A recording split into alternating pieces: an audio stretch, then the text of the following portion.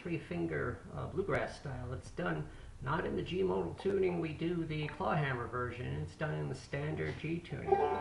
Something bluegrass players will often do. They'll leave their banjo in standard G tuning if they're playing what we call a modal tune, but they'll compensate for that by fretting the second string first fret for a good deal of the tune. And as you can see in that example there, keeping that fretted for just about all of the A part. It's only in B part where we depart from that, and even then, we're avoiding almost uh, everywhere getting that open second string, the natural B, in there.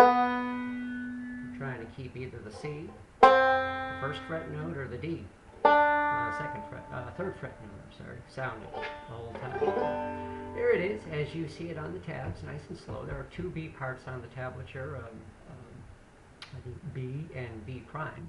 We'll, uh, we'll do both of them. B prime is a little bit of a variation. The B prime, the second B part, the variation maintains that forward-backward roll that we're introducing in the in the A part. Um, still pretty notey, pretty um, ornate, but uh, it's a doable one. The first B part is a little bit easier, more pinching, a little truer to the uh, to the fiddle tune melody of Cluck Old do uh, here we go, nice and slow. Here's the A part first. One. Thank you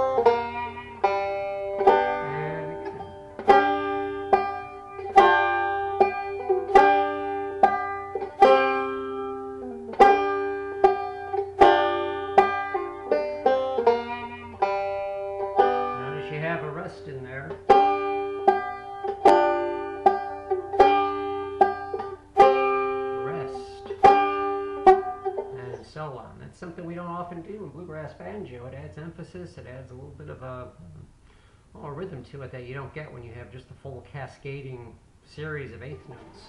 Gives it a little bit of an oomph.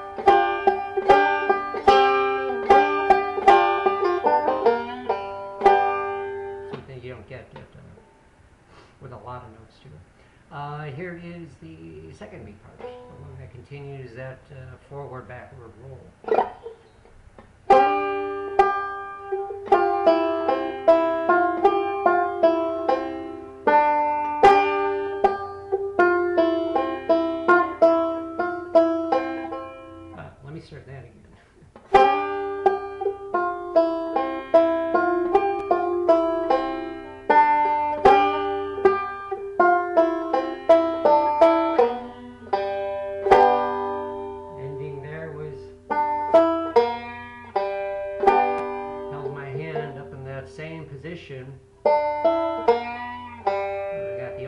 First string, the second string, uh, fifth fret, and the third string, third fret to close off.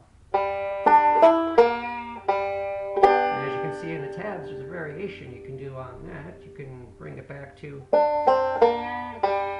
same ending we had before. Here's how it would work with that.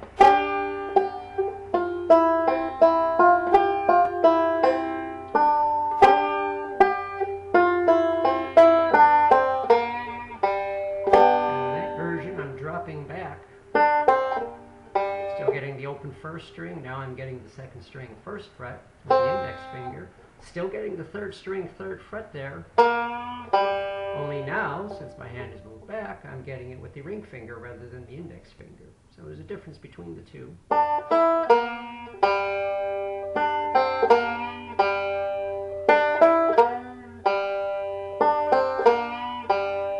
Slightly different sound, although only one note varies. Um, but given that one note varying, we have to move our hand to play it in a different position. Either way is fine. You can avoid varying it and do it one way or, or the other. It doesn't matter. Um, that's about it.